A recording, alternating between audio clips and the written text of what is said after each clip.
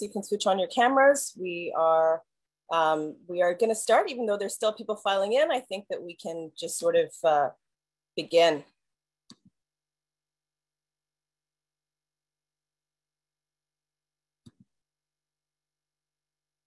Hello, everybody. Hi. So uh, I see that we're still, we still have quite a few uh, people who are filing in. Um, so I'm just going to let people do that for a bit as we begin our event. It's great to see you, Jonathan, Karen, Yves. I'm really looking forward to this evening together with you. We're just letting a few more people uh, come into the, into the Zoom room before we begin, um, but we'll be able to get started very, very shortly.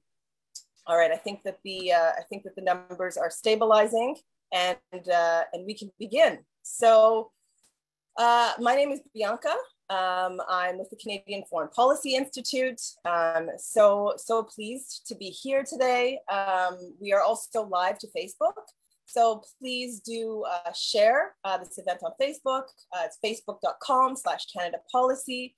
Um, you can also find out more about the host organization, uh, the Canadian Foreign Policy Institute at foreignpolicy.ca, as well as Just Peace Advocates at justpeaceadvocates.ca. So we're here with Jonathan Kuttab, with Yves Engler, with Karen Rodman for our event, The Innumerable Ways That Canada Supports Israeli Apartheid and What We Can Do About It. Um, so I just want to give a huge welcome to our panelists. I want to give a huge welcome to all of you at home for joining us, for tuning in live. Um, I'm delighted to be hosting this critical discussion with uh, Jonathan uh, and Yves and Karen, who've been doing so much work on this issue. So again, my name is Bianca Mugyenyi. I'm with the Canadian Foreign Policy Institute, and I'm one of the organizers of this event.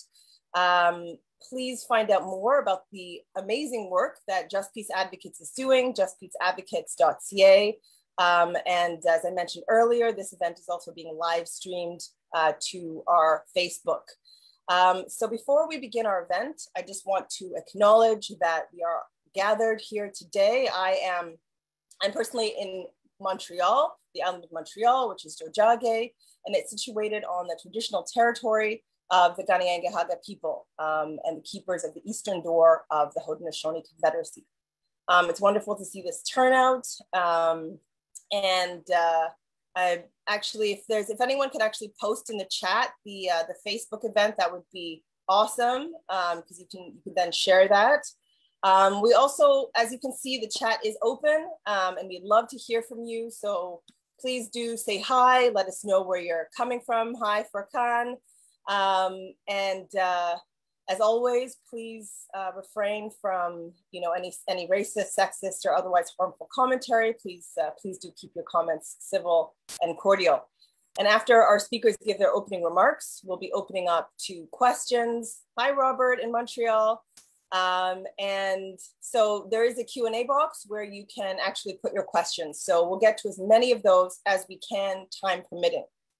So again, um, I'm here representing the Canadian Foreign Policy Institute, and we're an organization that challenges unjust foreign policy measures. And our goal is to bridge the gap between the perception and the reality of Canada's role in the world. We also work to oppose the racism that's embedded in Canadian foreign policy. And you can find out more uh, about the work that we do at foreignpolicy.ca. Um, and if you like events like these, um, please do consider donating or becoming a sustainer. Um, and the link for that is foreignpolicy.ca slash donate. And, uh, and we'll be putting all those links in the chat. Hi, Simon in Ottawa. Hi, William. Um, so uh, our work, what we're working towards is a progressive foreign policy. And the internationalism that we all need to embrace so urgently must include meaningful international solidarity this includes support for anti-racist and anti-colonial uh, movements globally.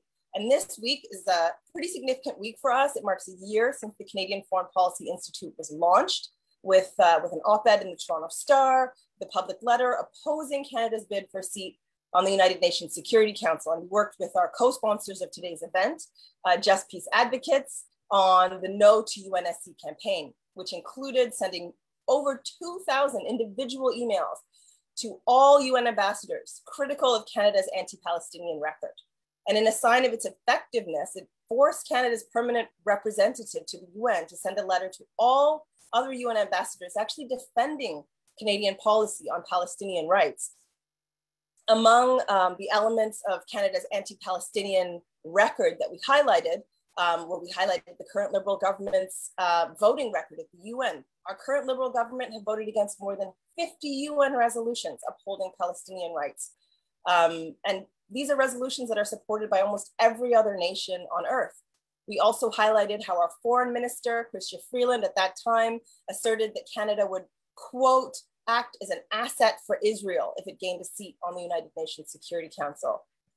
And you know, many progressives considered our position against Canada's bid for UNSC seat controversial, but time has really borne it out. And in recent days, Norway and Ireland, Canada's two competitors for a seat uh, on, on the council, have sought to stop Israeli violence through the council. Unfortunately, blocked by Washington, they put out a statement with other Security Council members, France and Estonia, condemning recent Israeli airstrikes and calling on Israel to cease settlement activities, demolitions, and evictions it's highly unlikely that the Trudeau government would have, pers- would have pursued a similar tack if it had won a Security Council seat. So, internationalism. Internationalism means that we cannot ignore the biggest injustices taking place on the planet.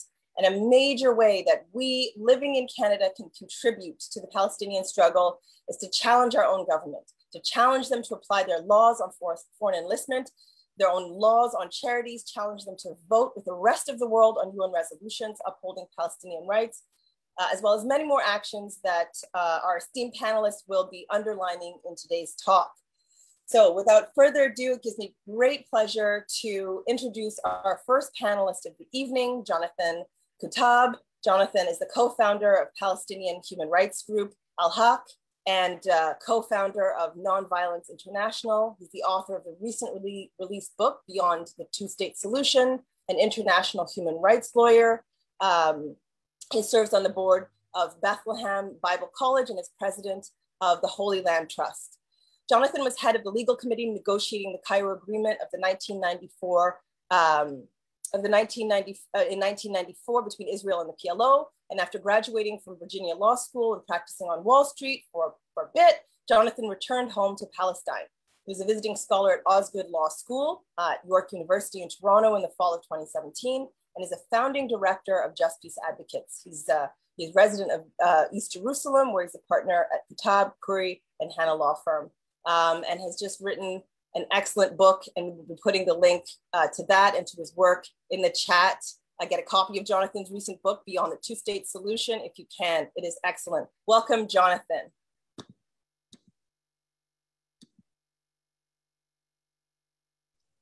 Thank you very much. Uh, it's really a pleasure to speak to such a large uh, group of Canadians who are interested in foreign policy. Uh, as, as, as I said before I came to Canada, I used to think of Canada as being similar to the United States, except more liberal and more progressive and, and more decent. Uh, and unfortunately, on the issue of Palestine, uh, the Canadian government has not been at all uh, progressive or decent or, or, or even following uh, international law as it should.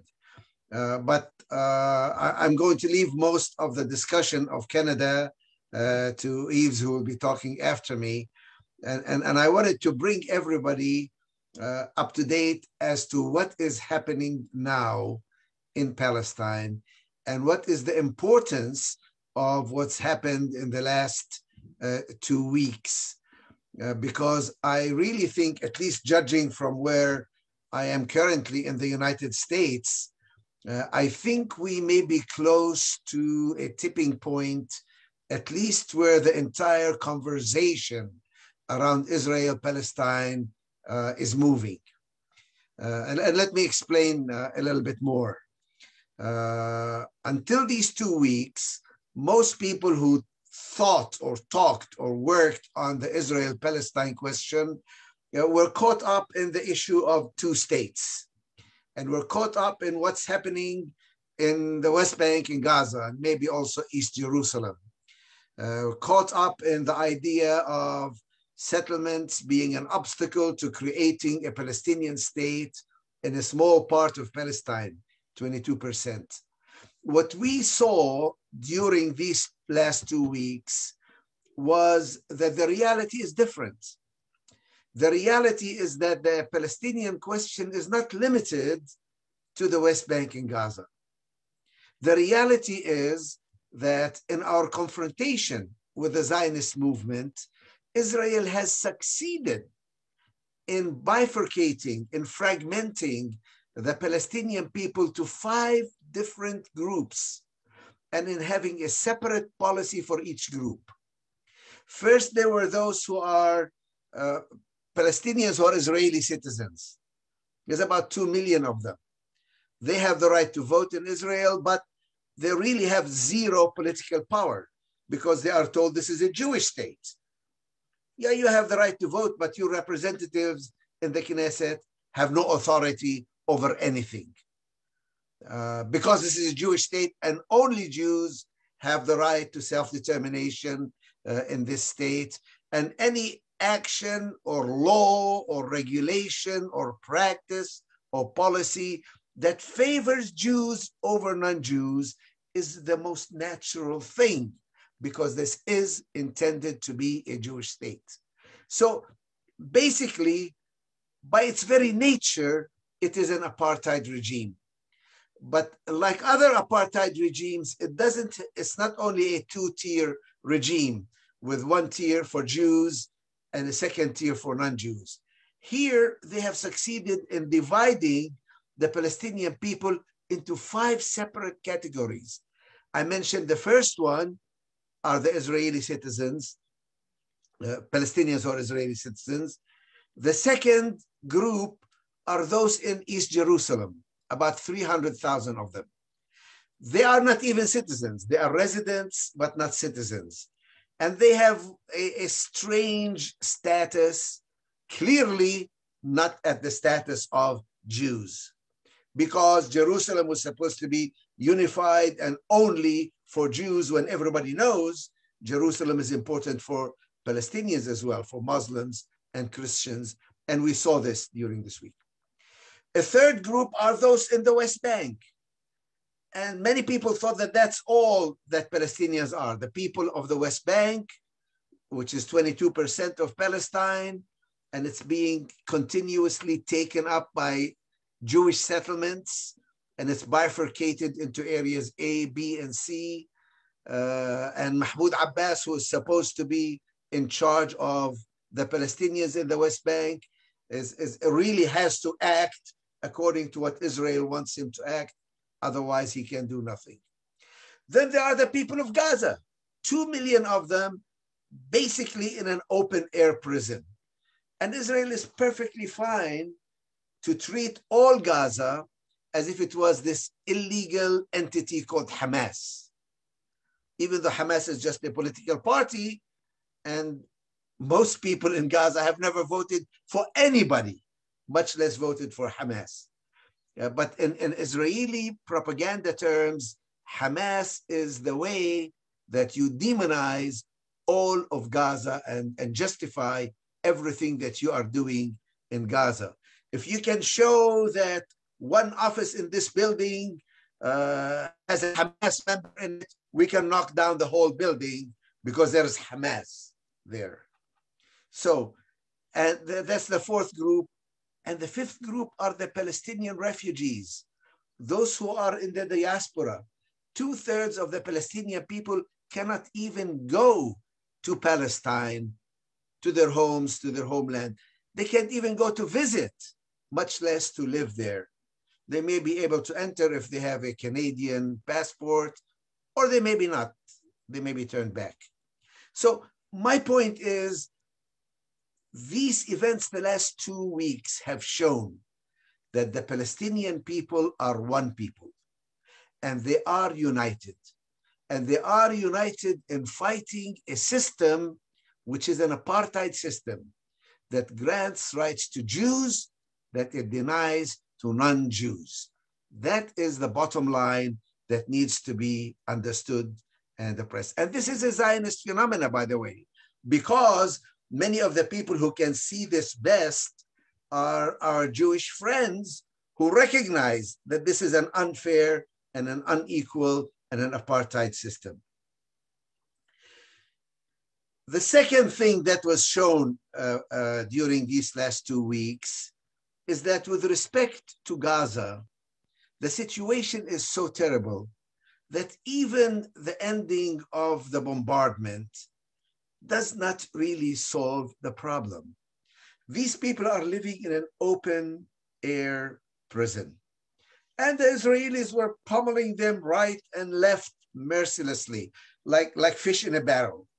Uh, uh one of the things that really got me was when one missile fell on a house and it didn't explode. And the neighbors got a call sorry, there was a technical error, but we will be returning tonight to correct it and destroy that house. Because the Palestinians have no defense. They don't have an iron dome. They don't have uh, places to go and hide when the, when the bombs start falling and the air raid sirens go off. Where do you go? You don't have an air raid shelter. And not only that, you have nowhere to physically go somewhere else to take your children away or to take uh, yourself to a safe place because there is no safe place. The entire Gaza Strip is about 170 square kilometers. Uh, when you think about that, 2 million people who are there, obviously every one of them is within striking distance of somebody who is a, an Israeli target and they have no defense and nowhere to go. So I think we really need to recognize that it's a good thing that the ceasefire took place and that there is no more aerial bombardment. But what we really need now is to lift the siege of Gaza, to allow people in Gaza to move in and out, to bring goods in and out. How can you repair the, the house is destroyed? All the houses that were destroyed.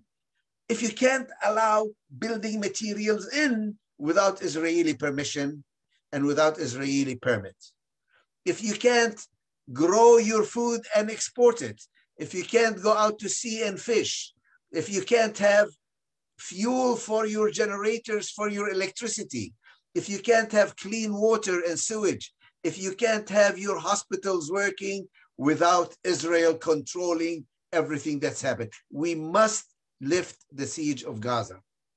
And, and finally, we must also bring Hamas into the equation. Hamas is a political party. I don't like it. I wouldn't vote for Hamas, but they are a political party and they serve a political function.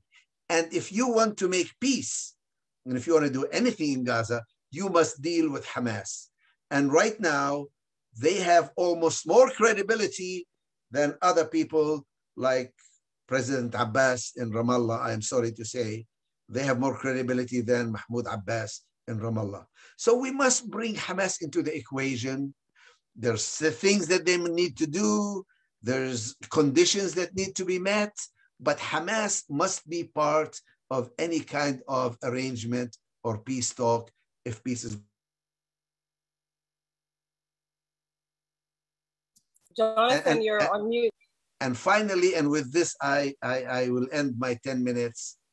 We need to think of ways to act if the government doesn't act.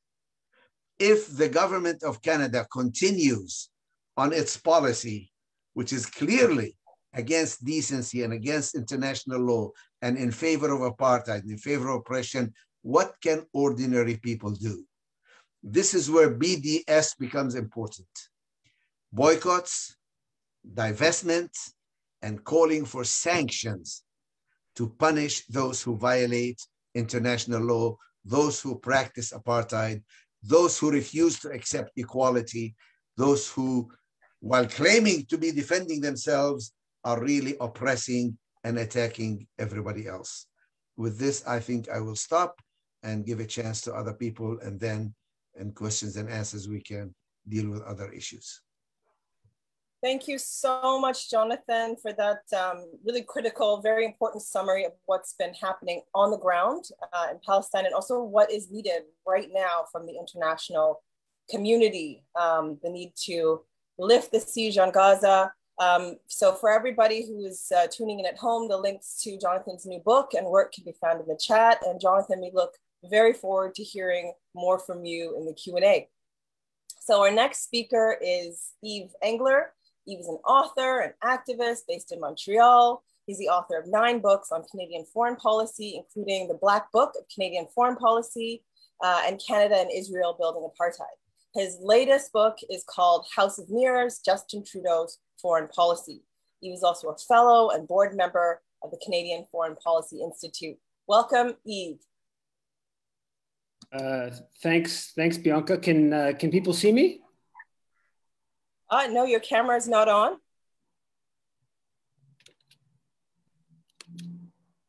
See. Uh, it's saying that the moderator needs to put the camera on, the host. Oh, okay. Let me help you out here. Just give me one second. So uh, just, just to start off. Yeah, you can just you can start. I'll um I'll ask to start. I think video. that will. I want to I want to acknowledge that I'm uh, speaking to you from traditional Indigenous territory of uh, Tiohtià:ke, uh, which is a place that has long been a point of meeting and exchange among First Nations.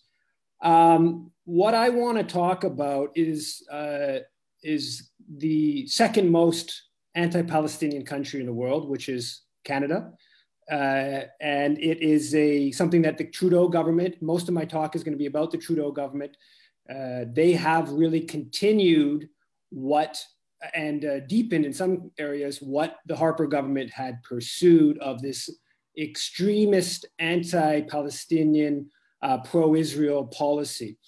And, and I think it's important to point out, right, like in recent weeks, there's been all kinds of repression in Colombia, right-wing government in Colombia that the Canadian government backs through a free trade agreement, through its diplomatic comments, through arms sales. Uh, and has been rightfully protest against Canada's position uh, with what's going on in Colombia in recent days. But the relationship to Israel is not the sort of what I would call the typical support for a, a right wing, uh, you know, pro US uh, government in Latin America or elsewhere. It is unique. It is very unique. And there's many examples of just a uniquely uh, uh, pro-Israel, anti-Palestinian uh, position.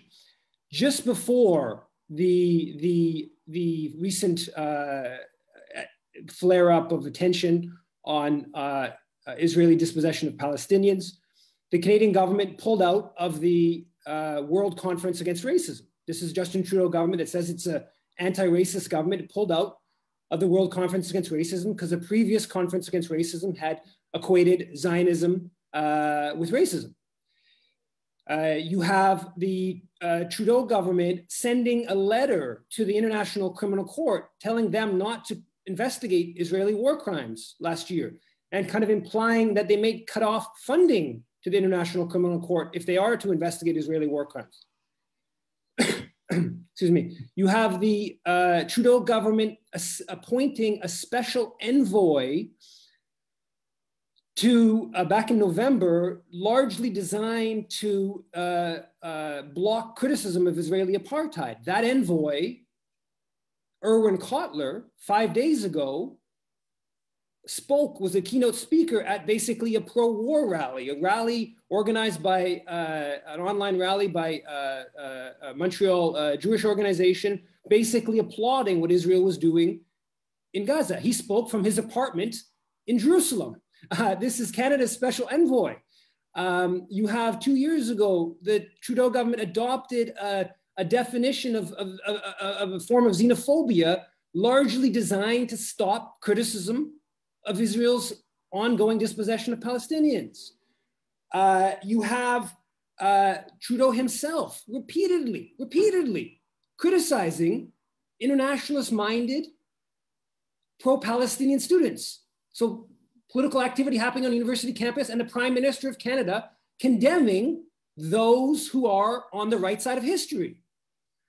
Um, you have uh, uh, the Trudeau government spending hundreds of thousands of dollars of taxpayer money on lawyers to block the proper labeling of a couple wines coming from illegal settlements because they don't want can, Canadian consumers to know where those wines are actually coming from. And they're spending our tax dollars to block Canadian consumers from even being able to know where those wines are being produced. Uh, you have the Trudeau government expanding the Canada Israel Free Trade Agreement, modernizing, as they put it. Well, the Canada Israel Free Trade Agreement includes, uh, uh, applies Israeli customs laws to products produced in illegal settlements in the West Bank, which even the Canadian government officially, officially, ostensibly believes contravene uh, uh, international law. You have the Trudeau government adding to the criminalization of Palestinian political life, adding another Palestinian organization to Canada's terrorist list, which essentially makes all of Palestine, most of Palestinian political life illegal or criminal.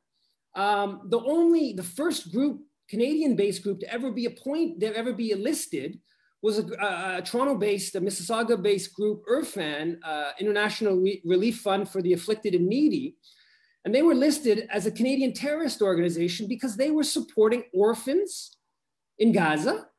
Uh, and they were channeling that money through the post office, which was under Hamas control because Hamas runs uh, Gaza. And they, and they tried to get a dialysis machine into Gaza. And the hospital that that was being sent to was under the health ministry, which is again under Hamas control. And they got listed as a, chair, as a terrorist organization in this country uh, for having tried to support orphans and a hospital in Gaza. And the Trudeau government, that was that began under the Harper government. The Trudeau government has continued, maintained IRFAN uh, as a listed uh, uh, terrorist organization.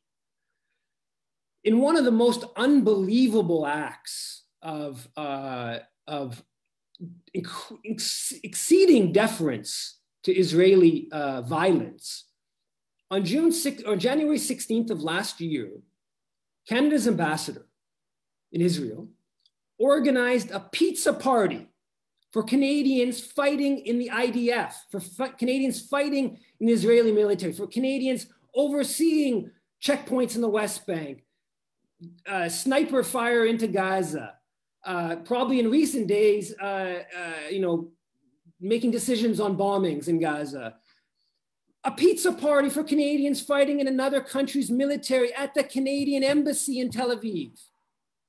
You have the Trudeau government allowing the enlistment of Canadians into the Israeli military, which contravenes the Foreign Enlistment Act, which is very clear.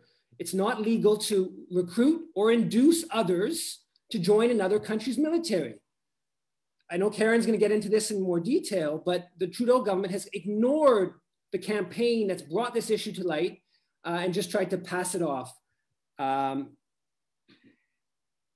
you have uh, the most important uh, form of Canadian support uh, for Palestinian dispossession, for Israel, uh, today and historically or in recent decades is the registered charities. Uh, more than a quarter billion dollars was raised in 2018 and a similar number each year since and before uh, uh, by registered Canadian charities for projects in Israel.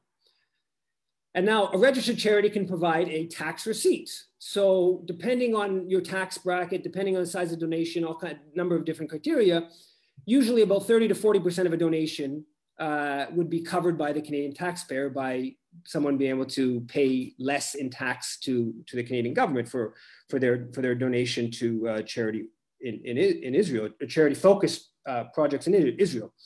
I recently went through the list of all the different charities uh, and it's really, it's fascinating. Uh, you have groups like the uh, uh, Canadian Friends of Israel Guide Dog Center for Blind, for the Blind.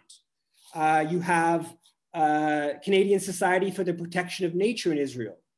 Canadian Friends of the Israel, Israel uh, Philharmonic Orchestra, uh, Canadian Friends of almost every university, every hospital, on and on and on, dozens, probably into the hundreds of different organizations that are registered charities in this country that are supporting projects uh, uh, in Israel. In, in uh, 19, 1991, the Ottawa Citizens suggested there was more than $100 million raised for charities in Israel by Canadian groups, somewhere between 100 and 200 million. Like I said, the most recent number said a minimum of a quarter billion dollars. If you assume $100 million has been raised by registered Canadian charities for projects in Israel since 1967, when Canada brought in its, um, its modern charitable uh, rules around uh, donations, uh, providing tax receipts to donations. That's about $5.4 billion that's been raised for Israel by Canadian groups. And the Canadian taxpayer would have paid about $1.7 billion in lost, uh, lost tax revenue. Um, I think that the, if you believe in boycott, investment, sanctions, obviously Canada should not be giving charitable status to groups supporting Israel. In fact, Canada should be moving to making all of the, those donations to Israel illegal. That would be real sanctions. Um, but we don't have to even get close to that before we can challenge a whole lot of the charitable donations going, going from Canada to Israel. Um, because in Canada, it's illegal. It's contrary to Canada Revenue Agency guidelines on charities to support groups that support another country's military. That's very explicit. It's also contrary to Canada Revenue Agency guidelines to support uh, projects in the West Bank that are supporting settlements that ostensibly contravene Canadian uh, uh, policy. And it's also, this is a bit more gray area, but should be the case, um, to support explicitly racist organizations.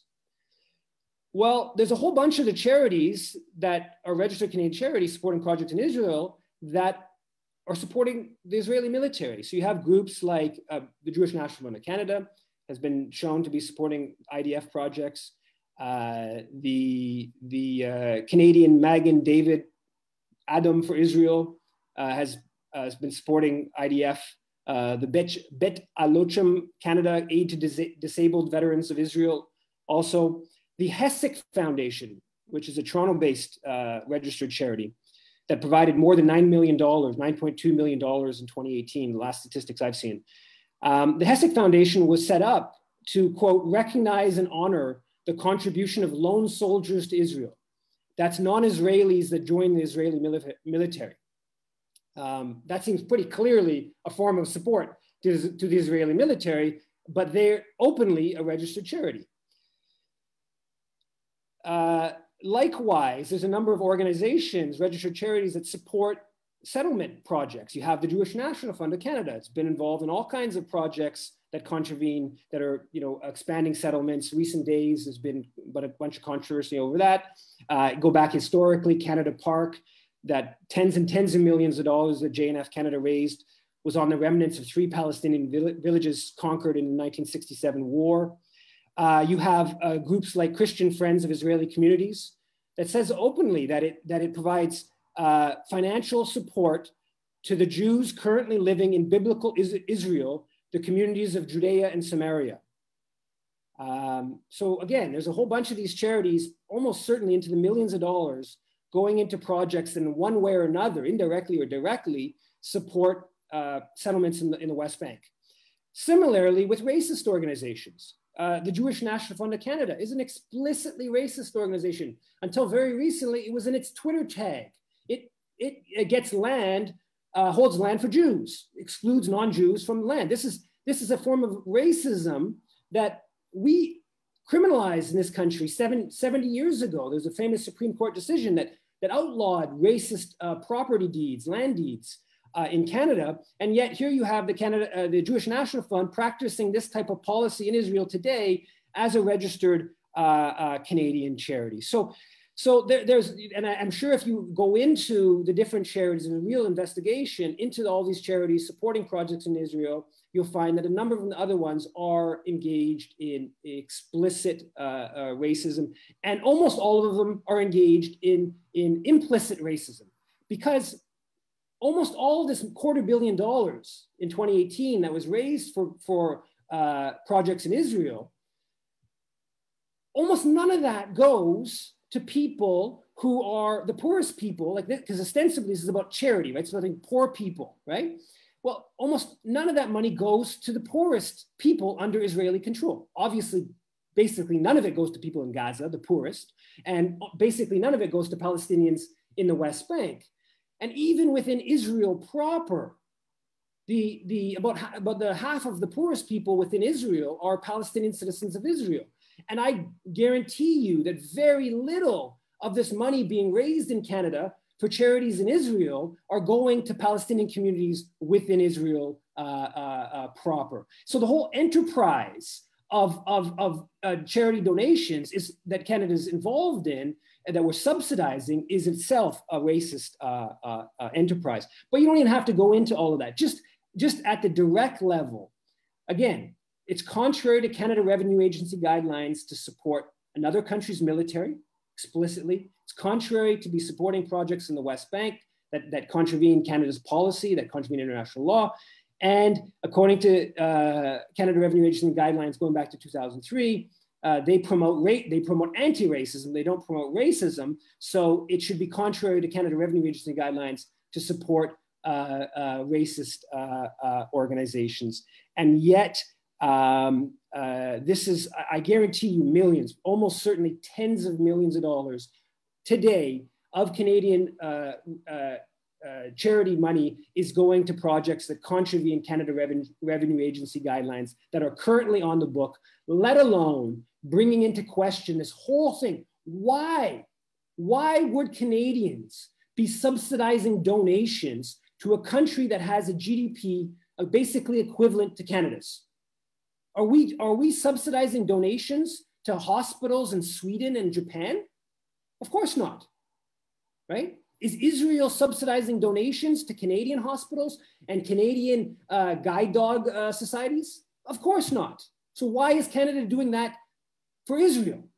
And this is almost not discussed at all by the pro-Palestinian movement, but from my assessment of things, this is Canada's most significant contribution. This goes back decades and decades, a contribution to uh, Israel's ongoing uh, uh, dispossession of Palestinians and strengthening Israel at the expense of, of Palestinians.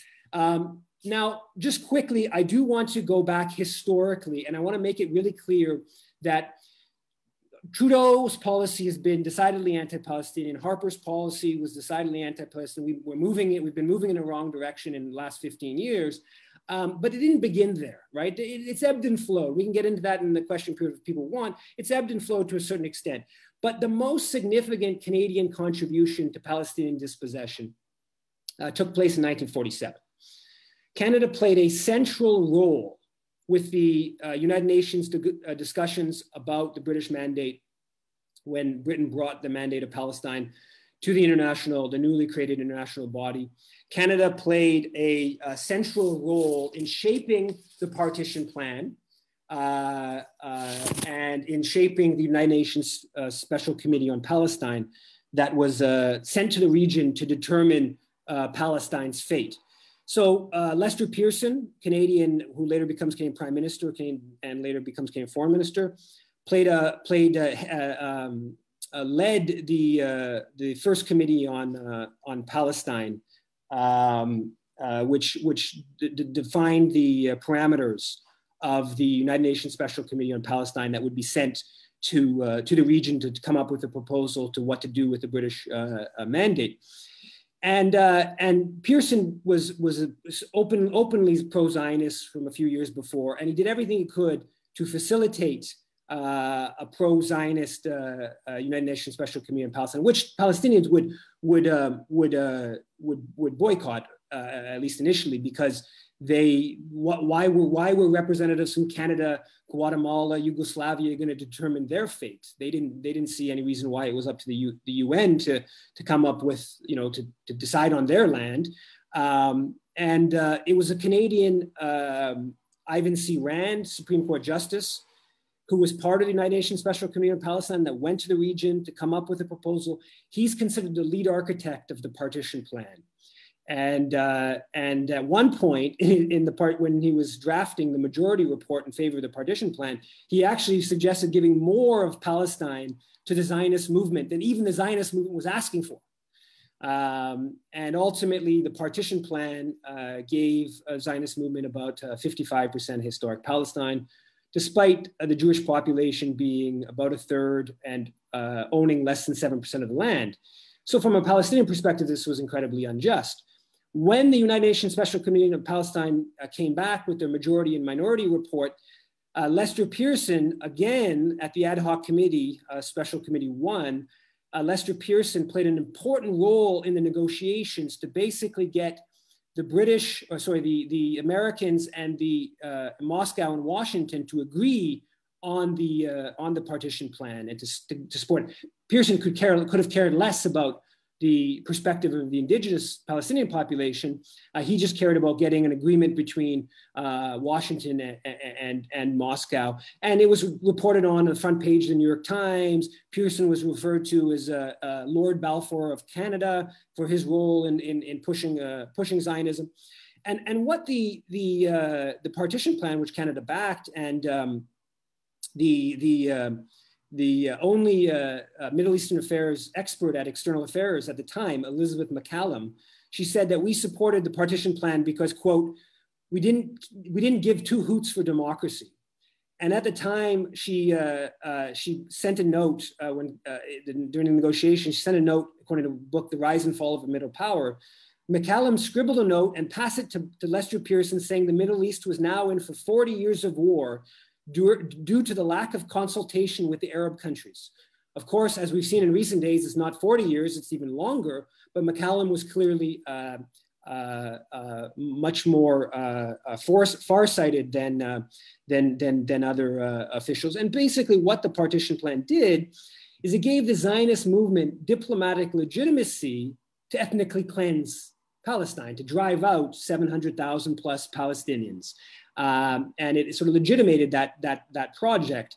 Um, and there were Canadians that fought, uh, a minimum of 300, according to the lead uh, recruiter in in Toronto, uh, uh, uh Ben Dunkelman. Uh, he claims that he recruited as many as a thousand people, Canadians, World War II veterans, so generally highly skilled military people, to go fight uh, uh, on, on behalf of the Zionist movement, and they participated in the, the ethnic cleansing of, uh, uh, uh of Palestine. And so Canada's role at the UN in 1947 is the most important Canadian contribution to Palestinian dispossession.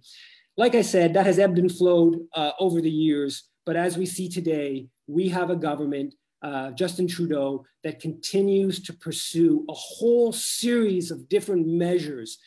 Even if Justin Trudeau uh, 10 days ago would have come out and said uh, Israel's ethnic cleansing in, in, in uh, East Jerusalem is wrong. Uh, uh, its uh, attacks on Al Aqsa Mosque are wrong. Its bombing of Gaza are wrong. Even if it was strong language, Canada would still have been uh, directly uh, enabling and complicit in his, Israel's uh, human rights violations, and he didn't even make those statements. So we have a government, and it's up it's up to us to change that and to mobilize political power to choose uh, important uh, uh, uh, uh points of pressure within Canada uh, that we can we can take that outrage, the outrage we've seen online on the streets in recent in recent days, and direct it at challenging Canada's complicity in Palestinian dispossession. I'll leave it at that and pass it over. Thank you.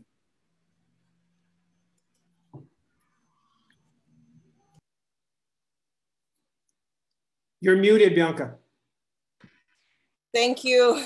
Thank you so much, Yves, for that, uh, that broad overview. True to the title of this event is very difficult to fit all that information into just a few minutes. Um, but if you'd like to find out more about uh, Trudeau, the Trudeau government's uh, complicity in Palestinian dispossession, both historical and current day, um, definitely uh, check out Yves's writing at yvesengler.com. Um, so thank you for that and also for reminding us to just to use the power that we actually do have. So we'll, uh, we'll see you again in the Q&A, Yves. And I just wanna remind everyone at home uh, to post your questions in the Q&A box. Um, we're gonna try and take as many of them as we can after this. So our next speaker is Karen Rodman, um, who uh, is a human rights advocate and founder of Just Peace Advocates and Palestine Just Trade.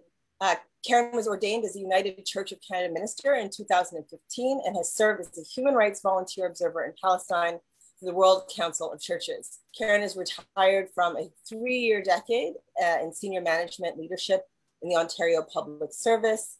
And Karen is uh, an incredible activist. Welcome, Karen. Thanks so much, Bianca, and uh, what an honor to be here. Um, I'm pleased to share a little bit more about some of the practical things that people are doing and can uh, do in regard to uh, ongoing campaigns. And I'm going to start by talking about the uh, illegal Israeli military recruiting in, uh, in Canada. Um, under the Foreign Enlistment Act, it is a crime in Canada to recruit anyone for a foreign military. And uh, Yves's talked a little bit about this. It's also a crime to aid and abet such recruitment. Um, and there's indication that at any point uh, there are about 200 Canadians serving in the Israeli military um, based on historic information. The only exception would be if the recruitment was of an Israeli citizen who's required to do mandatory service, and that would be someone who is not a Canadian citizen. The campaign to stop illegal Israeli military recruiting was launched on uh, October 19th, 2020 um, by both the Canadian Foreign Policy Institute and Just Peace Advocates, along with the Montreal-based organization Palestinian and Jewish Unity. Um, it was launched with a formal legal complaint uh, with a call to Minister uh, Lametti, Justice Minister Lametti, to undertake um, an investigation and lay charges uh, as warranted. Le Devoir ran an article that day, and the following day, uh, the journalist from Le, Devoir who had ran the article asked a question at the press conference of Minister Lametti about the actual complaint, along with evidence and a letter that had been signed by more than 170 Canadians, including uh, several prominent individuals from Canada and beyond. Lametti indicated at that press conference that he would refer the case to the RCMP and Marie Vastel at the Le Devoir ran this news on the front page of Le Devoir on, uh, on October 20th. I must say that the uh, Francophone media has been much more kind to uh, our advocacy work than uh, the English media, although some things have been changing over the last few days, as I'll come to uh, in a few moments. Um, in early November, the RCMP indicated they did open the investigation and the original evidence that uh, had been provided by our, our organizations to Minister Lametti um, were uh, provided to the RCMP. We provided additional information um, uh, early in 2021. All this information is on the Just Peace Advocates website as well. The RCMP have not followed up other than to just provide indication that the investigation was opened. However, subsequently, people have really engaged in the campaign with more than 2,500 letters going to Minister Lametti and other elected officials, and about a thousand letters uh, going to the RCMP. We did hold a webinar by our organizations in early uh, February. World Beyond War joined us with that, but over 50 organizations uh, from across Canada, but also some international, came on board to fully endorse the campaign. Um, we'll be providing the link for that webinar in the chat in case you didn't have a chance to hear it or want to listen to it again. But uh, maybe more importantly uh, is that recently NDP member of Parliament Matthew Green from Hamilton Centre, in fact, this was just following the um, NDP convention where a resolution was passed uh, in support um, of uh, Palestinian uh, activism or Palestinian action, I should say, related to um, military embargo and uh, settlement goods. Just following that, anyway, Matthew Green sponsored a parliamentary petition that is calling on Minister Lametti to undertake a thorough investigation and lay charges where warranted. Um, we just uh, checked the uh, the petition before we came on. I think it's over 6,600 Canadians have signed the petition. It is just growing by about 100 every time we look at it. I encourage you, if you have not already done so, to sign it and uh, to share it within your networks. Let's make this the Palestinian um, resolution or uh, motion that actually, or not motion, parliamentary petition, I should say, that actually gets to the 10,000 signatures. So again, that link has been in the chat and I think it'll be put back in again. Um, also, as Yves mentioned, there was a recent letter from our organizations to the minister. Well, I guess Yves more mentioned that uh, there was uh, indication around uh, the charities and using charity uh, funding uh, towards military uh, military in Israel, along with the Foreign Enlistments Act that I've just been talking about. And so we do have a letter that is going to the Minister of Justice, Global Affairs, and Finance that's calling on Canada to follow its own laws. And there's been about 2,600 letters that have been sent in the last few days um, in that regard. So again, that's something, in fact, you don't have to be in Canada to participate in that. Anyone can, uh, can send letters uh, as they wish. So I do want to spend just a couple of minutes and uh, talk about the groundswell of reaction that both Jonathan and Yves have spoken to in response to Israel's blatant violence and in particular Canada's complicity. Um, a Twitter storm was held by Canadian organizations. It'll be two weeks, I guess, tomorrow. It was the day after Al Quds Day and the attack on Al-Aqsa Mosque. Um, and that saw over 1 million impressions in the hour that we were on Twitter. A letter was provided at that time by Just Peace Advocates for people to send to the Canadian government. And within a couple of days, we had over 14,000 letters that had been sent. Um, over the next few days, a letter from the National Council of Canadian Muslims resulted in over 100,000 signatures. And as far as I know, that's the first time that uh, NCCM, uh, the National Council of Canadian Muslims, has engaged directly in the issue of Palestine in, in this way. Other organizations, including Palestinian organizations, uh, CJPME, Independent Jewish Voices, and uh, Justice for All, followed a suit with a letter writing to the Canadian government around holding Israel accountable through things such as call for sanctions and emergency debate at Parliament, and so on. Within a few days, and I count it sort of a few days into that week, Canadian elected officials had seen more than 150,000 direct calls into their email inboxes. And uh, by then, there were phone banks happening with uh, phone calls. I'm sure it would be fair to say that at least a quarter million letters and phone calls um, have been made to, uh, to Canadian parliamentarians over this last 10 days as the momentum has continued to grow on the streets, actions that were already in the planning for Nakba Day became huge events with estimated crowds of up to around 10,000 in both Montreal and in Toronto. There were tens of actions all across the country with thousands coming out in Calgary, Edmonton, Ottawa, Vancouver, Winnipeg, Halifax, Mississauga, and elsewhere.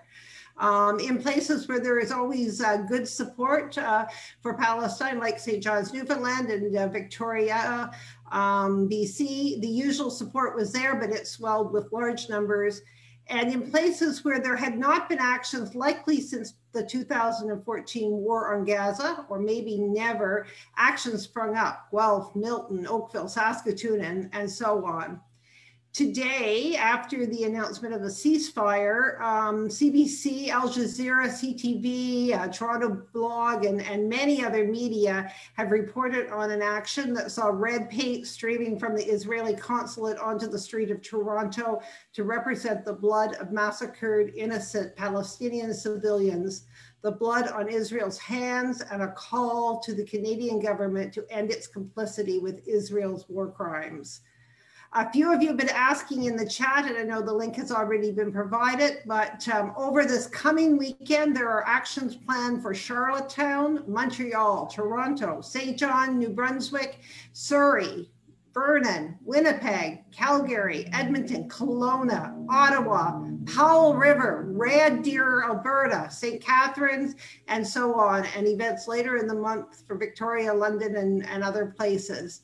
So check out those events um, in, uh, in the chat. It's a list that includes Canadian events as well as uh, events from around the world. And we thank our uh, um, organization, um, Dune, the organization Samidoun for keeping this list current and up to date.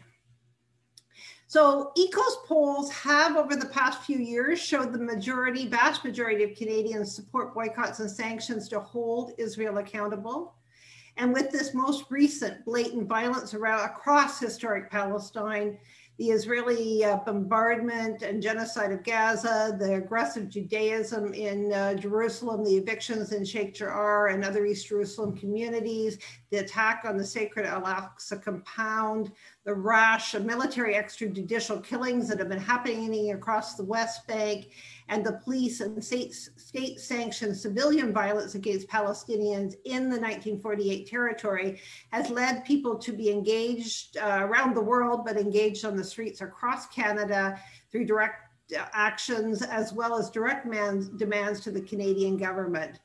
The ceasefire is not a reason to start, it's a reason for us to continue to build on this work.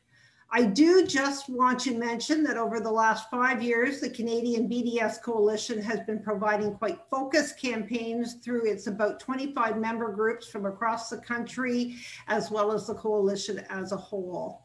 The founding meeting of the Canadian BDS Coalition happened in April 2016, and the notes record the following. The Canadian BDS Coalition, a good, unequivocal name in answer to Trudeau's parliamentary motion in February 2016 condemning BDS and those who support it. I'm sure, sure many of the people or most of the people uh, that are, are listening will remember uh, Trudeau being elected in uh, late 2015 and uh, by February bringing in motion uh, 14 uh, condemning BDS and those who support it. And the response in Canada amongst the groups from St. John's, Newfoundland, right through to Victoria, BC, um, was that we would come together and work in this way. Shortly after forming, the coalition worked to create campaigns across the country and with strong international engagement. Um, the, one of the first uh, victories was uh, one that led Air Canada to end its contract with Israel Aerospace Industries. That's the main research development and, um, and actual manufacture of uh, of war of the war machine in Israel, and it um, Air Canada was um, ended a contract, a five-year contract in uh, in two years, based on the uh, on that campaign. More recent campaigns uh, with Quebec BDS, who also is a member of the Canadian coalition, was to have Hydro Quebec not renew a contract with Israel Electric and um, a campaign in 2019 that uh, the Canadian BDS coalition led that saw the Raptors not go to Israel after uh, it was indicated that they would by their owner uh, um, after their NBA victory. Um, 50 artists joined with the BDS coalition uh, just before COVID to say no to playing Israeli apartheid to Celine Dion. And there have been numerous other campaigns um, against Puma, Teva, many other companies, a call for an HP free zone, and most recently uh, working with uh, one of the member organizations of the coalition uh, in London, Ontario this week, uh, a company has declared itself apartheid free. So I encourage you to check uh, the website, bdscoalition.ca, learn more about campaigns currently underway. I'll highlight uh, just two very quickly. One is a current campaign uh, related to the Canada Pension uh, Plan Investment Board calling for divestment from the companies that it's invested in that are on the UN list as complicit with war crimes. Some people call that the black list as well as a Montreal-based company, WSP, that uh, um, is engaged in the light rail in East Jerusalem. A brand new campaign this week is one that is a call to the Dean of the Schulich Business School at York University to end their doing business in Israel seminar, which entails sending Schulich students, I suppose, after COVID or maybe virtually now, to study in Israel for 10 days. There's a letter writing campaign over the last couple days. I think we're up to close to 600 letters on that. So again, check out bdscoalition.ca or some of those are on our website at justpeaceadvocates.ca. Um, so in ending, Just Peace Advocate wants to remind you and remind that the Canadian government is a high signatory of the Fourth Geneva Convention and therefore is accountable under Article 1 of the Fourth Geneva Convention to ensure the convention is upheld under all circumstances. This means that Canada is complicit with war crimes when it does not hold Israel accountable and when it does not stand with international humanitarian law. Beyond this, under Canadian domestic law, The, um, the Special Measures or Special Economic Measures Act calls on Canada to take actions, including sanctions, when countries systematically violate human rights. There is a current call from the Palestinian human rights organization El Haq, uh, that is uh, organization that Jonathan Kuttab uh, founded in 1979 or co-founded in 1979. That campaign is hashtag time for sanctions, so time for sanctions. And the General Secretary of Al Haq, Shawan Jabarin, highlighted yesterday the international community's lack of political will um, will, will to hold Israel to account is what has allowed Israel to commit crimes against the Palestinian people as a whole, and that Israel's colonial apartheid regime established and maintained since the Nakba of 1948 continues to deny the Palestinian people their, their uh, collective rights, including the right to self-determination and uh, right to return. So my party message is this, that our role is to make it clear that Canada as a middle power needs to hold Israel accountable. And that means it is time for sanctions against Israeli war crimes. Thanks so much, Bianca. Thank you, Karen. Thank you so much for that rousing call to action. It's incredible to hear about all the amazing activism in Canada and across the world um, and all the work that you and so many others have done uh, and the many ways that our audience members can get involved. Um, your level of engagement and solidarity is, is truly awe-inspiring. So um, we put a lot of the links to the different actions that Karen mentioned in the chat. So please check them out. Please, please get involved. Please take action. Um, we're now going to move. We have uh, less than half an hour for questions and answers. So we're going to get right to the Q&A portion of today's uh, discussion. Um, that concludes our presentations. And um, so, like I said earlier, you can put your questions in the chat. We've received quite a number of them, and uh, we'll try to get through as many of them as we can. So the first question is from Rabia Khan, and uh, the question is, Yves, uh, can you give us a brief uh, overview of where the other Canadian federal parties stand vis-a-vis supporting Israel against Palestinians. Yves?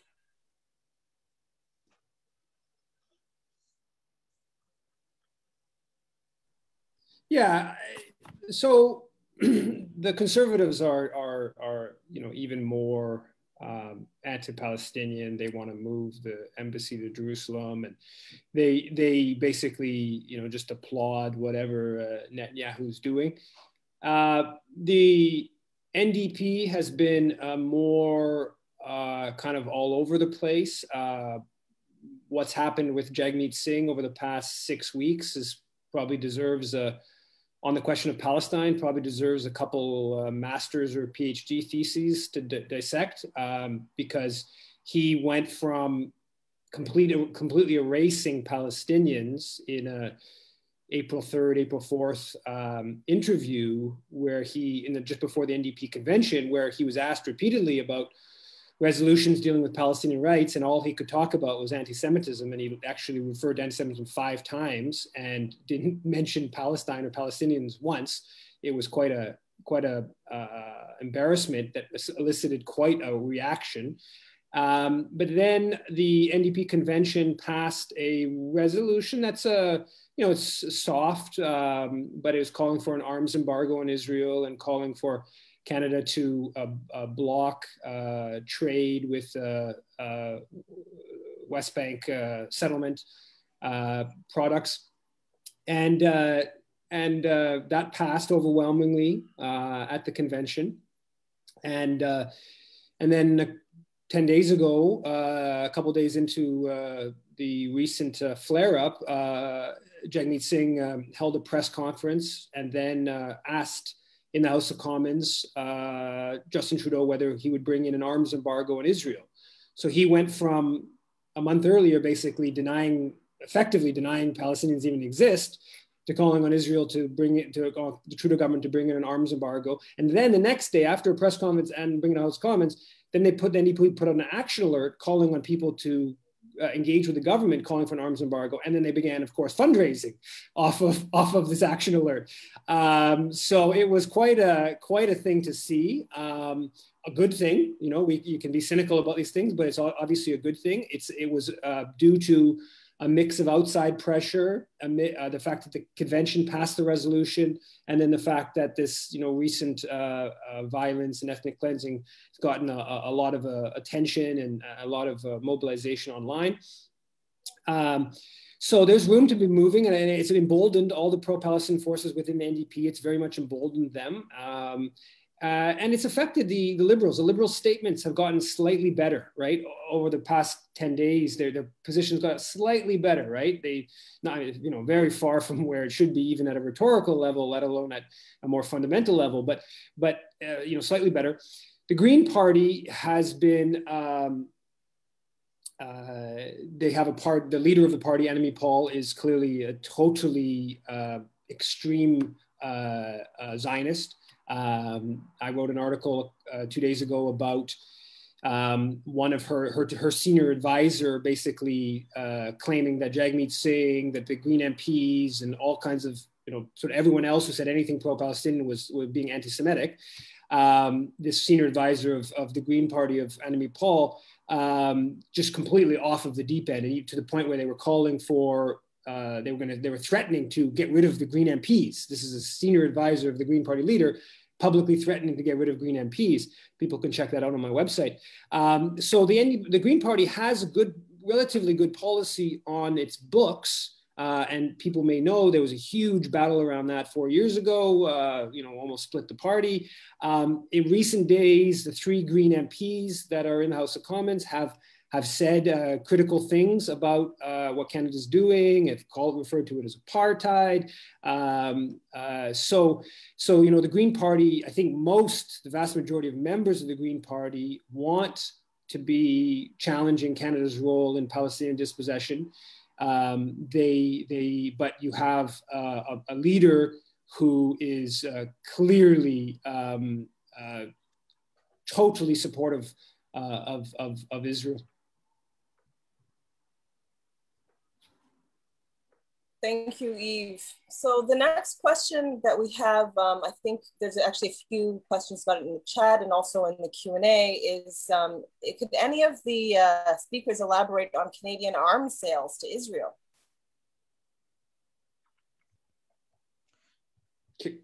Karen? Well, go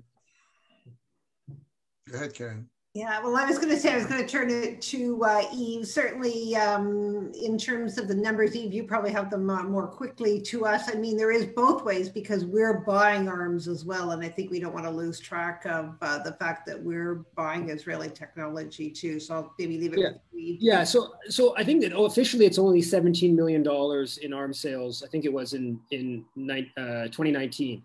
Um, that doesn't include the arms sales that Canada sends to the US and that the weapons that, that would then go through the through the U.S. and Canada. Um, about half of Canadian arms sales don't even get tracked, right? Because the the defense production sharing agreement with the U.S. that goes back like more than half a century. Um, so we don't even know, we don't even actually account for the weapons uh, in a public way of the weapons that go to the U.S. Um, and Canada is a major contributor of components to U.S. weapon systems, and that Canada's, you know, Canadian companies are tied into the whole American uh, industri- uh, military industrial base. Um, uh, the the last report I've seen, a comprehensive effort in, in going at that, was done by uh, Richard Sanders uh, during 20, 2009 when uh, there was a you know terrible attack against Gaza and about 1,400 Palestinians were killed. And um, Richard Sanders found more than, I think it was 140, 100, 140, I can't remember the exact number right now, uh, Canadian companies that were providing components. Um, there is more Canadian uh, purchasing of Israeli weapons, right? There's been uh, uh different Canada purchasing weapon systems that were used in the, um, the apartheid wall that were uh, Canadian uh, I think prison system that used some of that uh, technology. Uh, and Canadian companies have had uh, different uh, relationships because because Israel has a very high tech weapons uh, producing um, uh, you know industry, and so Canadian companies have had a relationship like CAE have had important relationships with uh, with Israeli uh, uh, weapons companies. Uh, but I think Jonathan might might have wanted to add something there. Yeah, I, I wanted to add a more general point. Uh, that, that doesn't deal only with the arms industry because usually with the arms industry you're dealing with the real centers of power and that's where the connections are between the zionists the imperialists the uh, the one percenters. Uh, what is happening here is that the palestinian uh, question is taking on the feature of really a genuinely global moral ethical situation where ordinary decent people cannot help but say that inequality is wrong, apartheid is wrong, discrimination is wrong, racism is wrong. Uh, and yet, uh, even as we fight that battle for genuine moral positions, Israel and its Zionist supporters in Canada concentrate on the top 1% who have power that is why even within uh, the, the NDP, you find it was the grassroots that forced the leadership to change its uh, position because the Zionists go to the top. They go to those who are in power. Uh, you can get a, uh, uh for example, a, a, BDS resolution passed by the students in almost any university. But then you would go to the board of trustees and the president, and that's where the power really gets uh, exercised. So, so in a way, the Palestinian question has become a crucible or a, a model for how ordinary people can, in fact, impact and influence policies of their government. When, when those who are in power have no problem with Israel and what it's doing. And this is, this is the challenge uh, for us is how can we at the grassroots level create an impact so that morality, decency, human rights, international law become part of the policy of the Canadian government at the top. Thank you, Jonathan. So the next question is. I just, uh, want, I just, want to, I just wanted to add one other one other thing that more important than the actual arms sales from Canada to Israel is that there is a publicly funded uh, Canada Israel Industrial Research and Development Foundation, uh, which I believe got a, uh, an increase in its budget in the last uh, in last federal budget a few weeks ago. Um, I, I, don't know exact what amount, I forget the exact number, but it's into the multiple millions of dollars. And that basically subsidizes uh, relationships between Canadian and Israeli uh, high tech firms, a bunch of which are military firms. The, the most comprehensive look at that that I've seen was a report going back, it's a, I guess almost a decade, or uh, a bit more than a decade ago. It's the Canada and Israel Defense, Industrial and Homeland Security Ties, an analysis by Kole uh, Kilibarda. And it goes through all the different uh, sort of um, uh, ties between Canadian and Israeli um, uh, arms firms and kind of high tech firms. Um, so I think that's actually more important than the actual specific number of, uh, of you know, dollars and weaponry going directly from Canada to Israel. Thank you, Yves. The next question is from uh, Iman, who says, we know from recent surveys that the Canadian public is overwhelmingly sympathetic towards Palestinians. What will it take for Canadian politicians and parties to make this a key action point in their agendas?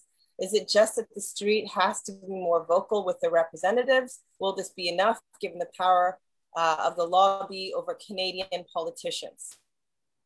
Well, this is a question for, for any panelist. This is precisely the point that I was making, uh, is, is that when morality is on your side, when decency is on your side, when the people are on your side, how do you translate that into a policy? How do you translate that into uh, really pressuring, lobbying? First, you start with your representatives because they depend on you for, for, for the vote. And then you, you, you bring it up one level higher when you say this is illegal. This is a violation of your international obligation under Article 1 of the Geneva Convention because you yourself then become the criminal who is violating international law just by allowing and enabling and emboldening Israeli actions that are contrary to international law. So this is really this is really the the crisis of, of, of Western democracy is, is how can the people regain power over politics and over their politicians? I, I think that the, the question of law is, a, is an important one, but I, I think that there are some simpler targets in Canada. And, and I think that the Foreign Enlistment Act, uh, the, the recruiting for the Israeli military in Canada, the fact that the support for uh, millions, tens of millions of dollars in support going for uh, registered charities that, that contravene Canada Revenue Agency guidelines with regards to supporting the Israeli military, with regards to West Bank settlements, with regards to racism. That's can, Canadian law. And, and, and I think that one of the elements, these are pressure points that, that, that need, they're not going to be won overnight. I don't think they're going to be won overnight, but they're pressure points that are really important pressure points to mobilize on. And, and they also undercut the whole uh, Israel lobby kind of talking point, right? The Israel lobby's talk, one of their talking points is that we're, you know, we're singling Israel out. And it's true. We are letting the Israel lobby be engaged in criminal activity at the Canadian taxpayer dime in many acti- in many cases, right? This, this is these are this is illegal. The United Jewish Appeal of Toronto and, and Combined Jewish Appeal of, of Montreal, back in June, they openly uh, promoted a webinar saying join the IDF in clear contravention of, of Foreign Enlistment Act. Same thing with the Israeli embassy in Toronto. So, so there's this, it also undercuts some of their rhetoric about singling Israel when we just say, no, apply Canadian law. So, so my, my, my increasing uh, formulation on this is, is, is that we need to be absolutely clear about what about Zionist crimes, about what Zionism is. It's it's a, it's a movement of dispossession, uh, European colonial movement that that is a, a, movement of dispossession, and it you know didn't start in '67. It didn't you know it didn't just start 10 days ago. Whatever. This is about uh, a, a, century or more long process of Europeans basically taking the land of of non-Europeans, and Canada has been part of that the whole way through and, and, and, and, and, and, and that project to a large extent is a European colonial project. It, it, would not, it would not succeed. I mean, there were Canadians that conquered Palestine in 1917, right? There was a Canadian general that led an initial attempt to, to capture Gaza. It was a first, it was a failed, but then there was, you know, 400 other Canadians that fought with Allenby in, in helping the British conquer Palestine. So, so this is, this is, we need to be clear about hard in our in our rhetoric if you like about what zionism is about the completely you know one-sided injustice. But but quite simple and and if you want to call it mainstream in our demand just uphold canadian law. Just uphold canadian law I also think it's really important, and it's already been said, but just to remember that this week, the shift um, and the tipping point of when the you know organizations such as the National uh, Council of Canadian Muslims comes on board, and it matters about the votes and uh, the impact, as Yves uh, articulated really clearly, around what role that had with the NDP and and how that uh, started to move forward. So there are uh, are moments, and I mean we're seeing that very much with uh, the mainstream media here in Canada, and I know Jonathan, you said that the media in the U.S. is is really focused. So it's how to use these moments really well um, as well too, right? So we have another question here, which is why does Canada support Israel so much? That's a very good question. Uh, I, I, I, would I would answer there are two uh, reasons, and one of them is collapsing uh, right now. Uh, one reason, uh, of course, is that there are specific interests. The government, the industry, the arms industry, those who are in power view Israel maybe as a, an outpost of Western Uh, imperialism. Uh, and, and, and, and they support it for, for some uh, interests they have banking interests, industrial interests, uh, etc. But, but the reason that most people used to support Israel had to do with their failure to understand its nature. They thought that Israel was a democratic country, that was the only democracy in the Middle East. They thought that the religion or Christianity supports uh, the state of Israel and the Jews in their return to their historic land. Uh, they thought that Israel was a progressive, socialist, utopian experiment because they didn't know that it was actually a colonial movement taking over other people's land. They used to talk about uh, a land without a people for a people without a land. Uh, so that there was also a lot of guilt feelings uh, about the Holocaust and about their own anti-Semitism and their own hatred for Jews, which they reflected by saying, okay, now let's give them the, the land of Palestine for their own. The absence of, of, of a Palestinian narrative. We were totally absent in, in, in the Canadian or the North American mind at all. Now, these, what, what I call these soft reasons uh, that, that, that led people to support Israel because they didn't know the facts and because they thought it was the right thing to do. These forces are now collapsing. As people see what is happening, as people begin to realize that Palestinians are human beings, that there is such a thing as Palestinians, that some of them are even Christians, not just Muslims, that, that, that, that the fight for Palestine is a fight for humanity and humanitarian uh, values and human rights, not a fight for, uh, let's say, Western civilization against barbarianism and against anti Semitism. Which is why I think it is so important that we have ethical, decent, principled Jewish voices standing with Palestinians. Because this is not, uh, this is not anti Semitism. I want to make it very clear anybody who supports Palestinians because they hate Jews, we don't want them. they are the racists that we are fighting. We are fighting for equality. We are fighting for decency. We are fighting against racism, not for racism. So a lot of people now are beginning to see the picture. And as that happens, I think you will see uh, increasingly less support for the state of Israel and its policies, and more support for not just for Palestinians, but for decency, for equality, for human rights, and for international law. Just to expand on uh, what, what Jonathan just said, a few points. One is that Zionism in Canada is not doesn't begin as a as a, a Jewish movement. It began begins as a Christian movement. There's an organized or semi-organized Christian Zionist movement in Canada for decades before there's any Jewish Zionism. The preeminent uh, Christian Zionist in the around the time of Confederation, 1860s, 1870s, was a man by the name of Henry Wentworth Monk.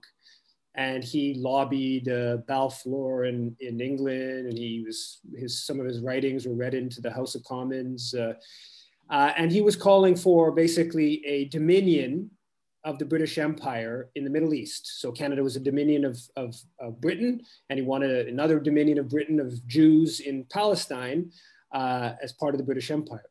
So Canada was, the Canadian elite were obviously completely tied in with British Empire at that time. And as the British Empire increasingly saw in Zionism a way to uh, get more control over the Middle East, uh, particularly with the Suez Canal, um, and uh, you know, sort of protecting this their control of the Suez Canal. Um, the you know Canadian elite were very pro-Zionist. Like I said, Canadians helped conquer Palestine. There's a large amounts of money that are raised in Canada in the early 1900s, and particularly when the Balfour Declaration of 1917, large amount of money raised in Canada to support uh, European colonialism in the Middle East. Now, Canada has kind of got a unique uh, position in global affairs in that it was tightly tied to the preeminent colonial power, or imperial power in the world, British. And then during World War II, kind of really naturally shifts from the, the lead empire to the lead empire, going from the British to the American. And to differing degrees, both of those empires, of course, have been supportive of, of, of, of Zionism. So, so Canada has, uh, you know, that force, and in recent decades, the fact that the U.S. is staunchly supportive of Israel has been an important explanatory factor in Canada's support uh, for Israel. Um, the fact that the there is a very well organized uh, uh pro-Israel, uh, predominantly Jewish lobby in Canada today that is you know effective in in um, in uh, uh, pushing the government and other institutions into uh, uh, uh, uh anti-Palestinian policies. Um, you know, within that, um, they have a very powerful tool that they use quite regularly, which is to basically beat back uh, those standing up for justice by saying, no, in fact, you're racists. No, in fact, you're anti Semites. Um, and, and it's kind of a, a, a, unique situation where they're riding on the coattails of empire. Uh, uh, they're also, I would say, the you know uh, pro-Israel uh, lobby groups, people like you know Heather Reisman and Gerry Schwartz or the Tannenbaums that you know set up the Center for Israel and Jewish Affairs because they felt that the Canadian Jewish Congress was not pro-Israel enough. Um, they also they they they on one hand to the riding empire, uh, they they're you know uh, uh, among the you know the wealthiest Canadians, but then they also have a tool of claiming oppression in saying that those standing up for Palestinians are are you know racists or anti-Semites. So so there is some unique dynamics at play in terms of what gives the whole ethos uh, towards support of uh, support for Zionism. But it, it, it, this goes back more than a century, right? The the Zionist ethos of Canadian political life is not new, um, and it's weakening. There's no doubt about it. Uh, but it continues to be, um, you know, quite strong. Thank you, Yves. So we're uh, we're nearly out of time. Um, there really are so many more questions. I think I'm only going to take um, maybe two more, and that's it. Uh, we have a question from Henry uh, Evans Sabrinka. What, in your opinion, should the labor movement be doing to support Palestine? Maybe I'll start. Eva can jump jump in. I mean, the labor movement was really uh, strong uh, in the early days after the civil society call for BDS um, in regard to uh, to uh, that support. And I think we're seeing some of that starting to come uh, as well. Um, I know for the labor movement, my understanding is that they really take their lead from labor in Palestine and uh, the unions in Palestine as well. So um, um, I'm sure Henry, in asking that question, knows probably better than uh, than I or, or some of us on the panel even know in terms of labor work. But um, it, it's um, yeah, really to be able to be working together with uh, uh, Labor for Palestine and with the unions. Uh, certainly, uh, the Canadian postal workers are amazing. they've signed on to the um, the campaign related to the military and pretty much every campaign you know that's being done, but is to move it into that sort of that next uh, level. I mean, if we you know had the Canadian Labour Congress coming on board and other unions, but maybe I'll uh, I'll turn it over to Yves uh, on that as well. Well, I mean, we, we the Canadian uh, Labour Congress put out a statement yesterday that was you know decent. It went went in the right direction. Uh, CUPW put out a statement as well you know the right direction. I, I, don't I don't see at all why they can't just say uphold Canadian, apply Canadian law around foreign enlistment and apply Canadian law around uh, revenue uh, uh, charities, right? They, they, they, I mean, these are simple demands. The Canadian Labor Congress is they're what are they going to be accused of? You know, like they're singling Israel out by saying we should apply Canadian law.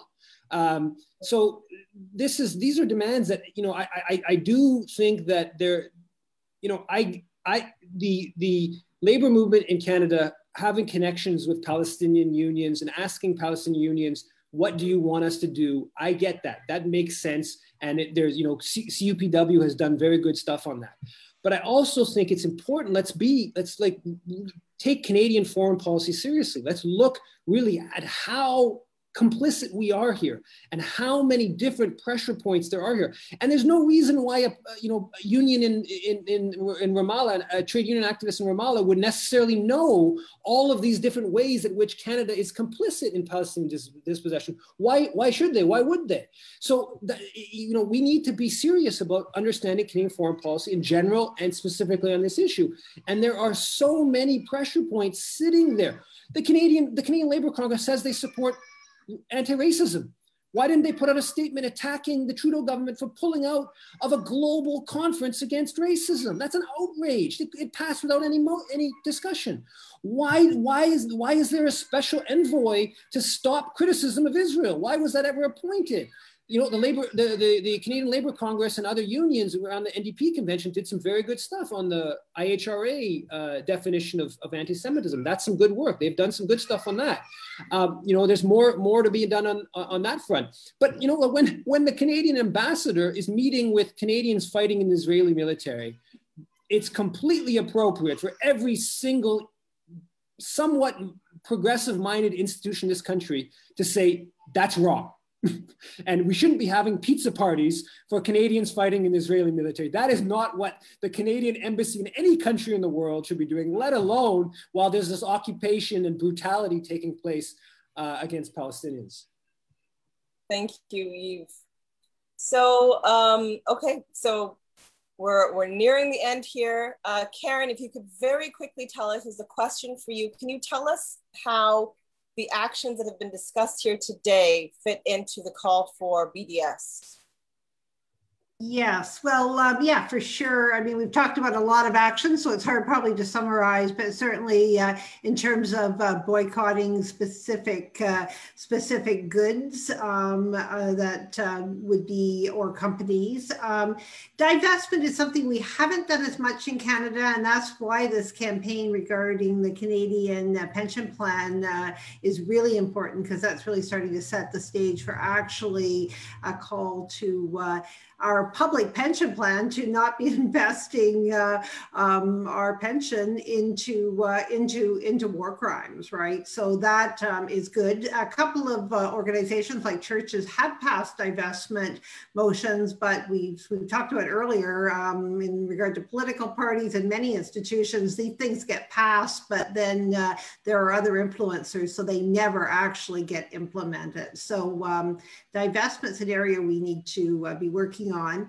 Um, sanctions, um, I mean, the call is getting clearer, as I said, around sanctions for the Canadian government. Uh, Just Peace Advocates, since we uh, came together three years or so ago, we've been trying to uh, really put idea of a call for sanctions under the Fourth Geneva Convention and Article 1, as I referred to uh, earlier, as well as other Canadian law, including the uh, Special Economics Measure Act and, and, other laws as well. So uh, to set that stage uh, to call uh, Canada towards whatever sanctions that would be, whether it's military embargo or um, whether it's uh, sanctions until uh, the siege on Gaza is lifted. We had a campaign uh, in that regard called Gaza 2020. Of course, we're in 2021 now, so that wasn't realized, but that would be a strong call uh, to say, you know, sanctions, whatever form they would take until the blockade of Gaza was at least lifted. Um,